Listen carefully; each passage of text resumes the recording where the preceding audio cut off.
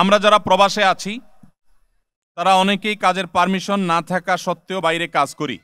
জীবনের ব্যয়বার বহনের উদ্দেশ্যে। আমার প্রশ্ন হলো, এইভাবে অর্জনকৃত অর্থ হালাল নাকি হারাম? প্রশ্নটি করেছেন আমাদের একজন বোন। এই প্রশ্ন উত্তরে আমরা বলতে চাই, পৃথিবীর বিভিন্ন দেশেই আমাদের প্রবাসী ভাইরা অনেকে ওই দেশের প্রচলিত আইনে ইলিগাল হয়ে গেছে যদিও আমরা যে কোনো দেশে থাকব, সে দেশের আইন, কোরআন এবং হাদিস পরিপন্থী কোনোটা না হলে আমরা সেটাকে শ্রদ্ধা করে মেনে চলার চেষ্টা করব শৃঙ্খলাই ইসলামের শিক্ষা।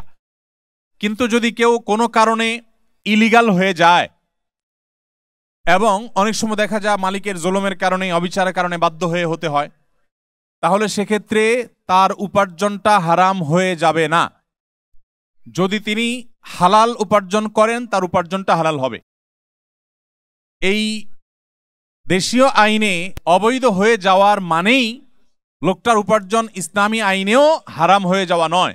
ইসলামী আইনে একজন মানুষ লিগাল, দেশীয় আইনে লিগাল আছেন, বৈধ আছেন, ওনার কাগজপত্র, ওয়ার্ক পারমিট সব আছে। এরপরও তার উপার্জনটা হারাম হতে পারে যদি তিনি হারাম উপার্জন করেন। তাহলে উপার্জনের হালাল হারাম, এটা নির্ভর করে যে আমরা আমাদের উপার্জন, এটা কোন পদ্ধতিতে করলাম, কোথা থেকে করলাম? হারাম কাজ করে উপার্জন করলে আপনার ওয়ার্ক পারমিট থাকলেও সেটা হারাম হবে। আর হালাল কাজ করে যদি উপার্জন করেন ওয়ার্ক পারমিট না থাকলেও সেটা হারাম হবে। কোরিয়াতে অনেক ভাই আছে, অমুসলিম বিধর্মী মেয়েদের বিয়ে করে, এই দেশে পাসপোর্ট পাওয়ার লোভে।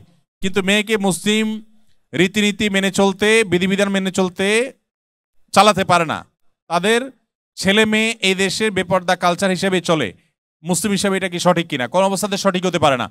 আপনি এদেশে মেয়ে বিয়ে করেন, তাকে মুসলমান বানায়, কোনো অসুবিধা না ইসলামে যায় সেটা। কিন্তু মনে রাখতে হবে, আপনার মূল উদ্দেশ্য হবে দিন। আপনি যদি উল্টা বরং বেদিন হয়ে যান, দুনিয়ায় ধান্দা হয়, তাহলে সেক্ষেত্রে কিন্তু আপনি আল্লাহর কাছে ধরা খাবেন। এবং তাদেরকে দিনই শিক্ষা শিক্ষিত করতে না পারলে জেনারেশন নষ্ট হলে আপনি নিজেই কিন্তু গুণাগার হবেন। আসুন্নাহ ফাউন্ডেশন, উম্মার স্বার্থে, সুন্নার সাথে।